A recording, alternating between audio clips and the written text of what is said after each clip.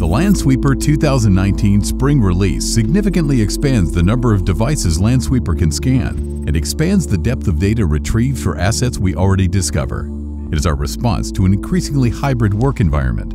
You can now keep track of Android, iOS, and Windows mobile devices as Lansweeper now hooks directly into Microsoft Intune.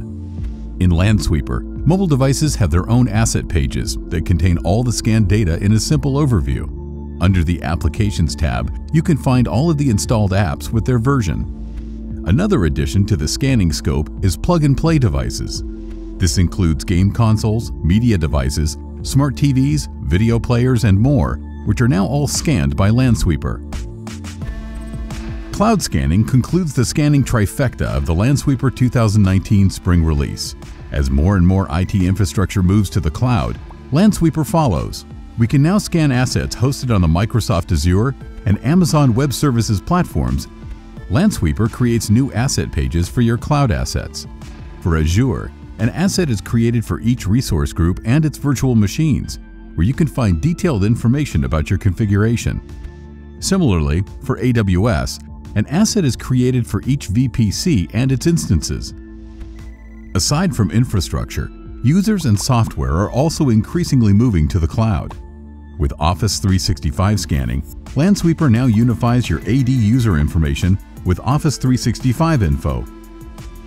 Besides detailed user info, Lansweeper also features an Office 365 organization page with company-wide email groups, licenses, and user information.